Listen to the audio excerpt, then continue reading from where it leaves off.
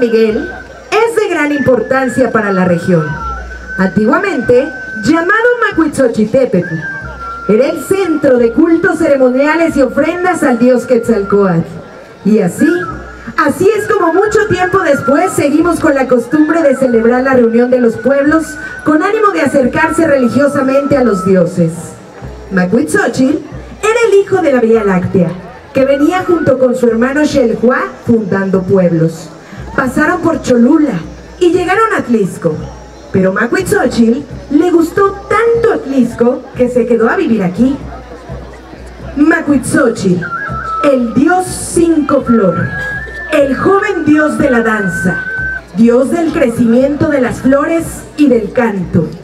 Viene bendiciendo el lugar como un acto ritual para pedir permiso a los dioses para danzar para ellos.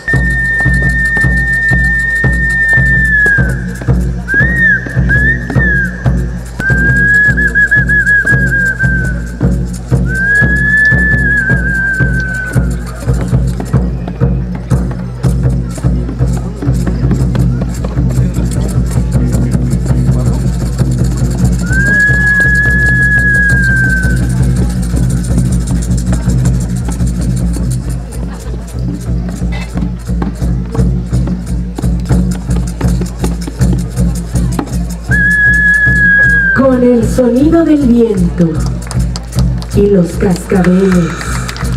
Se aproxima la serpiente emplumada, Dios creador del mundo y de la humanidad, Dios de los vientos y la lluvia, Quetzalcoatl llega con su gran esplendor a esta plazuela de la danza, dando respuesta al canto de Macuitzochitl para otorgar el permiso para danzar en su honor.